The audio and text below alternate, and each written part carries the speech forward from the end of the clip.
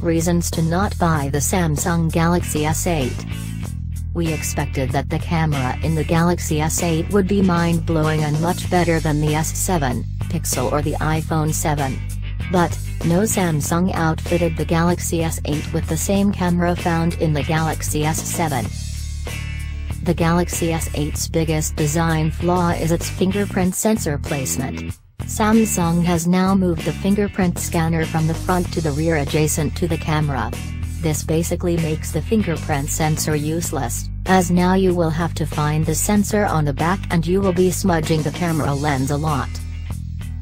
Though the Samsung Galaxy S8 and the S8 Plus are great smartphones, but we would still say try not to buy these as soon as they come out and wait at least a few months. This is due to the Galaxy Note 7 debacle did not happen a long time ago, and Samsung may still have to iron out some kinks in the Galaxy S8. Samsung though promoting the screen as a Quad HD display has put a bullet point on their website saying that the screen will come default on 1080p and you can crank that up in the settings if you want. Thanks for watching. Please subscribe this channel.